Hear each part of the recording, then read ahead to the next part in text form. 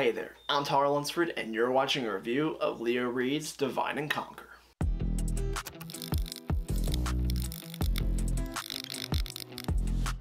What is up you beautiful people, my name is Tyler Lunsford and welcome back to another magic trick review here on the channel. Now if you're new here in then definitely please consider subscribing and take a look around the channel at my past reviews. I'm glad you're here, I hope you are, and without any more waiting, let's get right into this video. First off, you need to know what actually is Divine and Conquer. Well, Divine and Conquer is one of the most direct demonstrations of mind reading and magic that you can do with a deck of playing cards.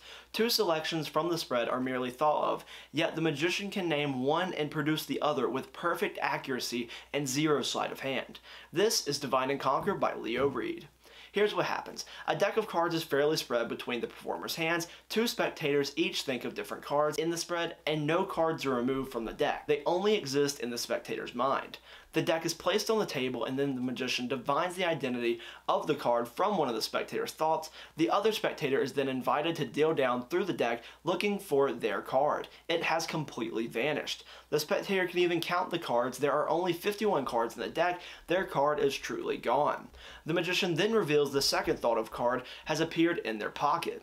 Divine and Conquer is a monster trick that requires absolutely no sleight of hand, and you'll receive a special deck of cards that does all the work for you, along with an instructional video from Nick Locapo that details how to perform this amazing effect. The cards can be different in subsequent performances, so this effect is perfect for both close-up and stage performers who need to wow audiences again and again.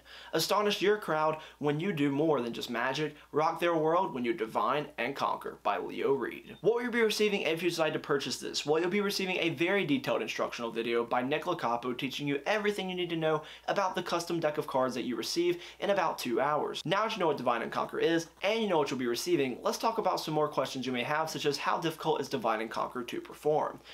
It is not the easiest trick in the world to do, but it's not hard. It's just going to take a bit of practice and a little bit of memorization.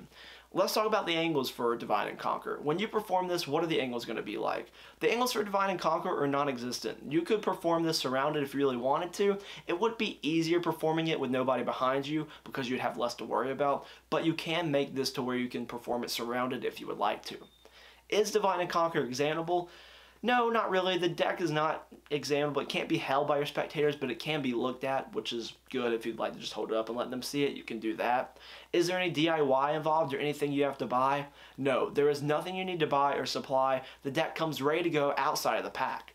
What is the setup and reset like for Divine and Conquer? Well, there is an initial setup to make sure that your gimmick deck is in the right order, but after that you can perform it whenever you like to as long as you have the deck of cards on you. Are there any negatives about Divine and Conquer? One negative for you might be that the deck is not examinable due to the nature of it, but this is something that might not be an issue for you. So it's kind of up for you to decide, but I did want to let you know about it before you decide to purchase it. There is also a little bit of if you know what I mean. That's a little bit of that involved. So if you're not a fan of that, then this might not be the effect for you.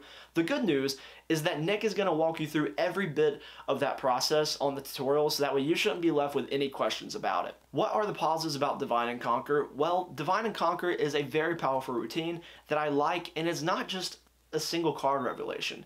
It's more than that. It's for more than one spectator, which I really like. And I also like the card is never like fully named. Like obviously that's what makes a good reveal, but it, it isn't really, you know, there's not too much of that involved. And when you name that card out loud for them, they're like, what? And it's, it's just awesome. So what should this retail as? Well, currently Divine and Conquer will set you back about $40, and is that a fair price? It definitely shouldn't be any more expensive than that. There is an argument to be made that it should have been more like $35, but I don't think you're going to regret spending $40 on it because it is a powerful effect. Thank you so much for sticking around until the end of this video, and if you feel that Divine and Conquer is for you, then a link to purchase it is in the description down below. Remember, I'm here to bring you unbiased magic reviews to help you make more informed, better decisions on the magic you buy, and I hope that you found this video helpful for that decision.